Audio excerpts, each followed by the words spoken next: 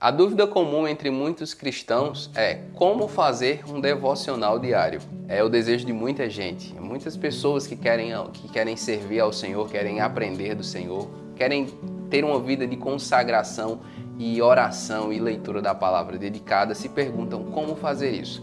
Então eu convido você a assistir esse vídeo até o final, que eu quero te dar algumas dicas de como eu mesmo faço o meu devocional diário. Amém? Então assiste esse vídeo até o final e confira. Mas antes de continuar, eu convido você a inscrever-se no canal clicando no botão vermelho aqui embaixo, inscrever-se, clique no sininho e ative todas as notificações e deixe aquele super like que ajuda demais na divulgação. Amém? Então vamos lá. A primeira coisa que nós precisamos saber com relação ao devocional diário é o seu significado. Devocional significa demonstração da devoção e admiração por algo ou alguma coisa, normalmente relacionada com o aspecto religioso. Isso significa que durante o devocional eu estou apresentando devoção ao Senhor Jesus, a sua palavra. É, ali eu estou reconhecendo que eu preciso dele, da sua ministração, da sua ajuda, do seu favor e, sobretudo, do relacionamento com ele. Uma pessoa na Bíblia que para mim é um grande exemplo de, de devocional, de devoção diária, é Abraão. Veja o que está escrito em Gênesis 13, 18. Então Abraão mudou seu acampamento e passou a viver próximo aos carvalhos de Manre, em Hebron, onde construiu um altar dedicado ao Senhor. Desde que eu li esse texto a primeira vez, é, eu, eu fiquei muito impressionado com a atitude de Abraão. Desde que o Senhor chama em Gênesis 12, a dando ordens de que ele fosse para uma terra que o Senhor lhe mostraria. Por onde quer que Abraão passava, ele erguia ali um altar ao Senhor e o adorava, e adorava a Deus, demonstrando profunda devoção. A vida de Abraão era rastreada por Deus, era vivida por Deus. Por onde ele passava, onde ele quer que ele estivesse, ele erguia um altar ao Senhor. Isso é devoção, isso é devocional. No devocional diário, nós estamos erguendo altares continuamente de adoração, de serviço ao Senhor Deus. Essa continuidade, essa, essa devoção diária, essa, essa, esse rendimento todos os dias, né? essa rendição, na verdade, essa rendição todos os dias ao Senhor Deus nos traz muito relacionamento, intimidade com o Senhor. Sim, mas e como fazê-lo? Bem, o devocional ele é muito simples, não tem muito mistério não. Primeiro, o que eu faço, a leitura da palavra. Normalmente essa leitura é a leitura de um livro da Bíblia. Há pessoas que gostam de saltear textos ou abrem a Bíblia aleatoriamente. Eu prefiro ler um, livro, um capítulo. E como eu faço isso? Não leio sempre na ordem, porque cada livro ele tem sua ministração particular. Então o que eu fiz? Eu fiz isso aqui. Com o passar dos anos, como eu já li a Bíblia né, algumas vezes, uh, sempre na ordem de Gênesis a Apocalipse, então eu queria diversificar, né? Porque muitas vezes o Senhor Deus ele quer lhe dar uma instrução diferente.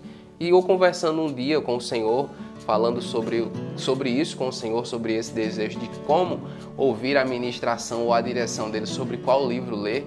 Ah, então ele me deu essa ideia, tenho certeza que foi é baseado muito no que, os, no que os apóstolos fizeram em Atos capítulo 1, quando lançaram sortes para nomear o novo apóstolo, né, que no caso foi Matias. Então, eu, o que é que eu fiz? Eu escrevi o nome de cada livro da Bíblia num papel pequeno e coloquei nesse potezinho.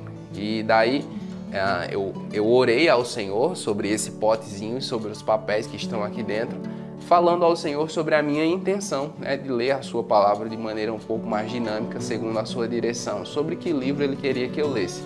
Daí eu coloco o, os papéis, oro ao Senhor e pego um papelzinho. E o papelzinho que saiu, o nome do livro que saiu, então é o, é o livro que eu vou ler.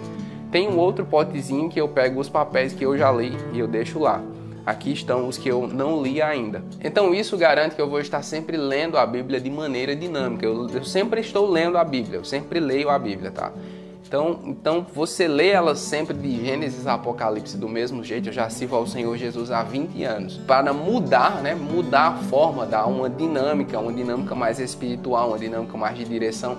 Até porque Deus sabe quais os momentos da vida que eu vou viver, o que é que vai passar pela minha vida, o que vem pela frente. Então, de acordo com isso, ele me, me dá a direção com base no que eu vou viver e, de fato, é muito interessante como isso tem funcionado para mim. Isso aqui não é uma doutrina, não estou dizendo que você deve fazer isso, tá? eu estou apenas dizendo o que eu faço e, e como eu tenho vivido muitas coisas boas por meio dessa experiência, né? por meio dessa leitura da palavra, por meio dessa experiência de devocional. Então, o que não pode faltar na devocional é a leitura da palavra. Né? Normalmente, um período bom, sim, é entre 15 minutos e meia hora. Menos que isso realmente é bastante complicado, porque você não vai conseguir ler e meditar no que você está lendo, refletir no que você está lendo. É muito importante que você leia o texto e reflita sobre ele, fazendo aplicações para a sua própria vida. Há pessoas que leem a Bíblia para debater, para dizer que sabe mais que o outro, mas a Bíblia não é para isso. Por isso muitas pessoas não estão experimentando mudanças em suas vidas. A Bíblia é para ser lida e aplicada à minha vida. Quando eu leio o texto bíblico, eu tenho que ver ali o que é que o Senhor Deus ele quer fazer com a minha vida, o que ele quer mudar na minha vida. Em terceiro lugar, a oração. Depois de ler o texto bíblico, depois de meditar no que eu preciso mudar, depois que o Espírito Santo ministra ao meu coração, eu leio o texto e passo um tempo ali diante do texto, diante da palavra, refletindo sobre ele. Nas minhas devocionais eu não me importo muito com quantidade de capítulos, as pessoas têm pessoas que ficam, ah, eu tenho que ler quatro, eu tenho que ler sete, eu tenho que ler dez. Eu não me preocupo com isso, eu me preocupo mais com a qualidade da administração. Sempre priorizei isso. Às vezes dá para ler dois, às vezes dá para ler três, às vezes dá para ler só um, porque o Espírito Santo ele está me ministrando tão forte ao meu coração que eu fico só naquele capítulo. Em seguida eu passo para oração. Então eu vou orar sobre aquela ministração, sobre aquela palavra e sobre outras coisas que o Senhor Deus ele tem colocado em meu coração. Então, esse é o meu processo de devocional. É, é, assim que eu tenho vivido ao longo desses 20 anos que eu tenho servido ao Senhor e tenho aprendido muito, muito mesmo. Aprendido não apenas na questão de conhecimento né, das Escrituras, mas no relacionamento com Deus, né, a ouvir a voz de Deus. Isso é algo que tem realmente marcado minha vida. E por fim, a importância da devocional. Veja o que está escrito em 1 Coríntios 9, 24 a 27. Vocês não sabem que dentre todos os que correm no estádio, apenas um ganhou o prêmio? Corram de tal modo que alcancem o prêmio. Todos os que competem nos jogos se submetem a um treinamento rigoroso para obter uma coroa que logo perece. Mas nós o fazemos para ganhar uma coroa que dura para sempre. Sendo assim, não corro como quem corre sem alvo e não luto como quem esmurra o ar mas esmurro o meu corpo e faço dele meu escravo, para que depois de ter pregado aos outros, eu mesmo não venha a ser reprovado. O que o apóstolo Paulo nos apresenta nesse texto de 1 Coríntios é o atleta e o cristão, ou um cristão como um atleta.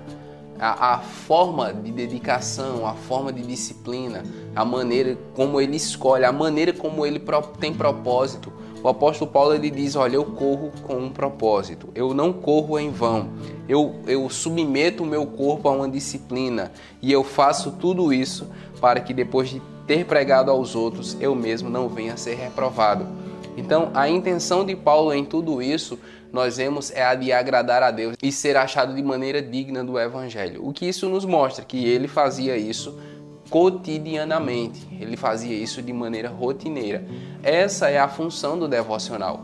Ao passo que você todos os dias expõe sua vida à oração, à meditação, você está ah, sendo exposto à palavra de Deus, você está expondo sua vida, sua alma, seus pensamentos, suas necessidades como um todo. Seu relacionamento com Deus vai sendo aprofundado. É como um casamento. Quanto mais o tempo passa, mais íntimo da sua esposa, do seu cônjuge, do seu marido você se torna. Quanto mais o tempo passa, mais você vai conhecê-lo. Muitas vezes, Carol nem precisa falar nada, ou eu nem preciso fazer nada, só pelo gesto a gente já sabe o que um está precisando, o que o outro está precisando, quais as necessidades do dia a dia. Então, tudo isso também pode ser aplicado e é uma realidade no relacionamento com Deus. Na minha opinião, todo cristão que quer levar sua fé a sério deve ter um momento de devocional todos os dias todos os dias, sem exceção. Particularmente ao longo de todos esses anos, dessas quase duas, duas décadas que eu sirvo ao Senhor, poucos foram os dias em que eu não li a Bíblia, muito poucos, porque é algo que é como comida, né? eu não, eu preciso comer. E o devocional diário é o alimento do nosso homem espiritual. É ele quem vai fortalecer nossa fé, nossa oração e nossa comunhão com o Senhor. Então, tenha isso como prioridade no seu dia. Esse tempo com qualidade com o Senhor para ler a palavra, meditar na palavra e orar sobre ela. Mais uma vez eu digo, não se preocupe muito com quantidade, preocupe mais com a qualidade da, da leitura. Se você não leu a Bíblia ainda, eu aconselho você começar pelo Novo Testamento, a partir de Mateus. Se você já leu a Bíblia várias vezes, então você pode ver uma forma de ver de fazer tornar essa leitura um pouco mais dinâmica, como eu fiz. Mas se você ainda é iniciante, então comece do livro de Mateus e vá lendo a Bíblia paulatinamente. Há muitos estudos, tanto aqui no canal como no jesuseabiblia.com. No jesuseabiblia.com tem uma seção, uma categoria que é Bíblia de Estudo Online e todos os capítulos têm um comentário, né, seja breve, seja um pouco mais longo, mas todos os capítulos têm pelo menos alguma coisa ali comentada para elucidar, facilitar sua leitura e entendimento daquele capítulo, ok? Então, eu aconselho muito, se você ainda não faz devocional diário, faça. Pare um tempo, 15 minutos, 30 minutos. Se você conseguir mais, amém.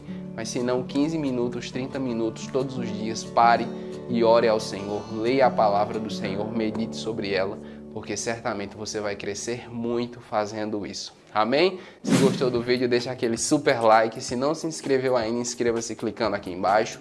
Clique no sininho e ative todas as notificações. Convide outras pessoas para fazer a nossa comunidade crescer. Compartilhe com seus amigos, parentes, família, igreja. Amém? Deus abençoe e até a próxima.